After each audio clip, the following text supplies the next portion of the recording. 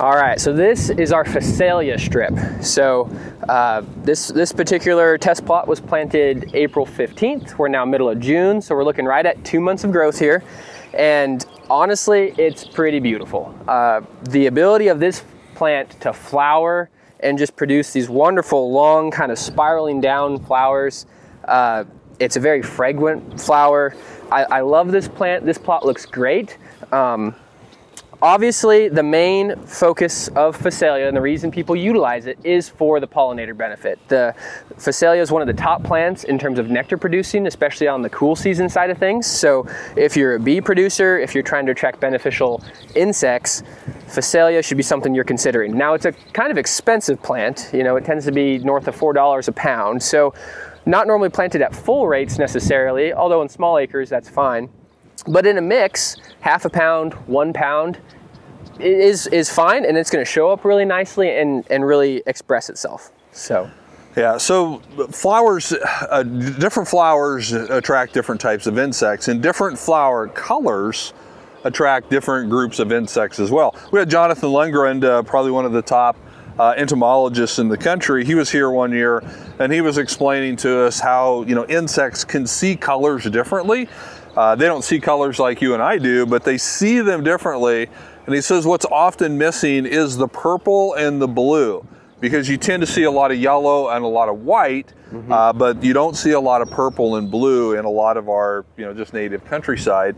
And so these types of colors are really important for the insects that can see these best. So that's why Phacelia is such a great addition to these cool season pollinators, cool season bee pasture mixes.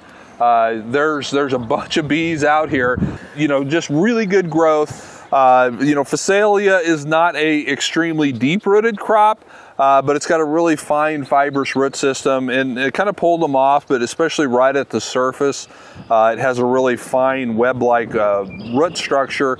Uh, but yeah, the, the, the, keys here is just really going to be this beautiful purple flower. I never used to think there was a lot of forage value in this. Uh, but I've heard reports back from some of my customers, particularly like up in Idaho where they have a little longer, cooler growing season, uh, that cattle will actually eat this and consume this pretty well.